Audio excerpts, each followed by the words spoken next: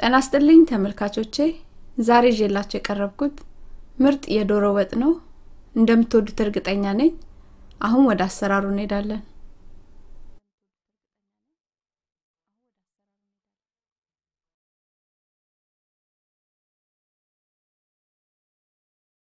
የዶሮ ወጡን ለማዘጋጀት የሚያስፈልገን ሽንኩርት ነጭ ሽንኩርት ዝንጅብል ዘይት በርበሬ የዶሮ ስጋ የተቀቀለ እንቁላል ቅቤ መከለሻና ጨው ናቸው።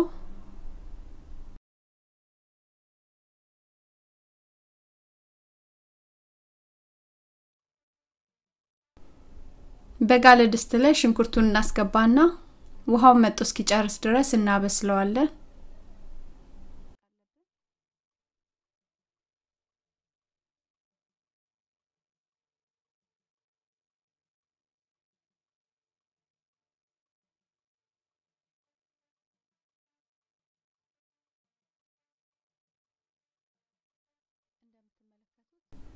ሽንኩርቱ ውሃው ምጥጥ አድርጎ እንደዚህ ብስል ካለልን በኋላ ያዘጋጀነውን ነጭ ሽንኩርትና ዝንጅብል አስገብተን አብረን እናቁላላቸዋለን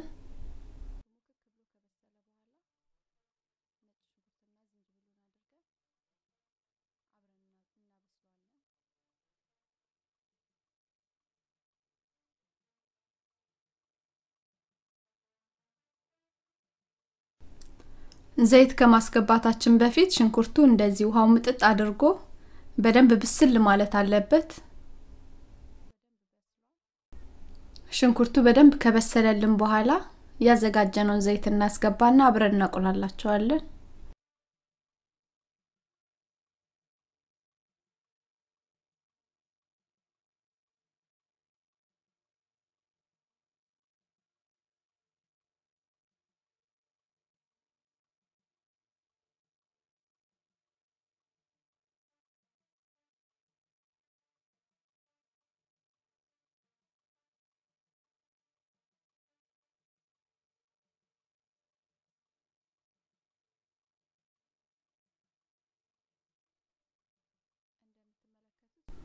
ሽንኩርቱን ከዘይቱ ጋር በደንብ ጥብስ ካደረግነው በኋላ በርበሬ እናስገባና አብረን እናቁላላቸዋለን።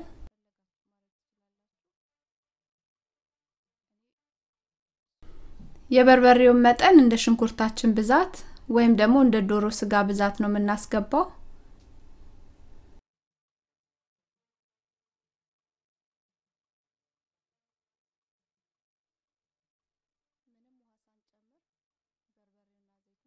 በርበሬውን ካስገባን በኋላ ምንም ውሃ ሳንጨምር በደንብ ማቁላላት አለብን።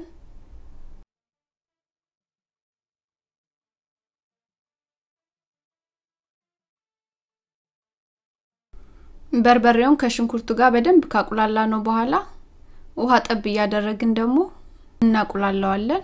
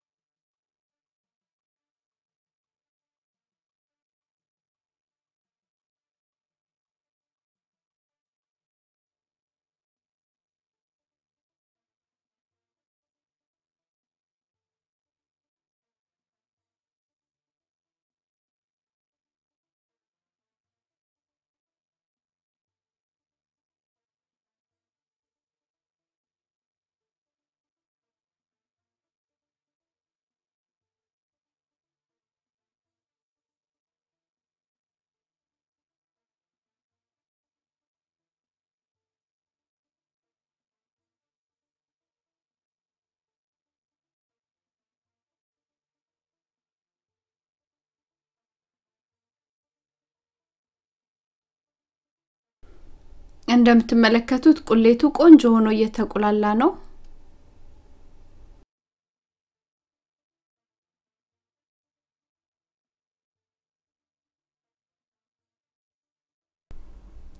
አሁን ደግሞ መከለሻና ጨው አስገባለሁ።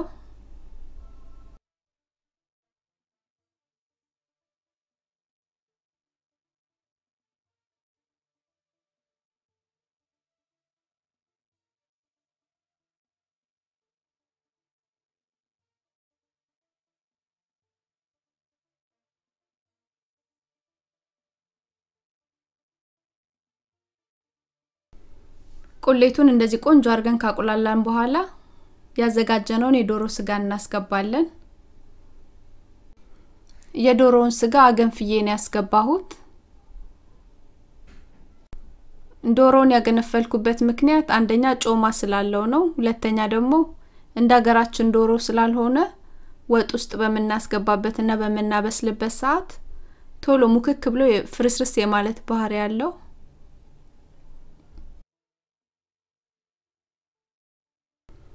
አሁን ደግሞ ቅቤ አስገባለሁ። የቅቤውን መጠን እንደየፍላጎታችን ነው የምናደርገው።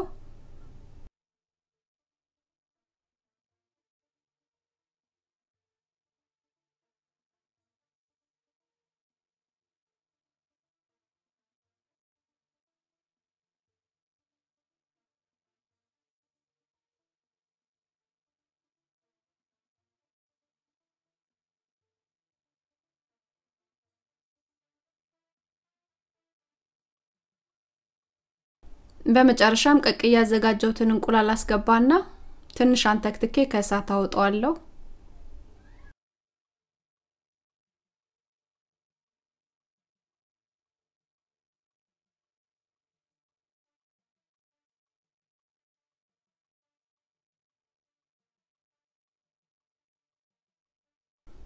ይህን ይመስላል ምርጥ የዶሮ ወጥ አሰራር። እንደወደዳችሁት እርግጠኛ ነኝ። አስተያየት፣ ጥያቄ ካላችሁ እቀበላለሁ። አመሰግናለሁ። ደህና ሁኑ።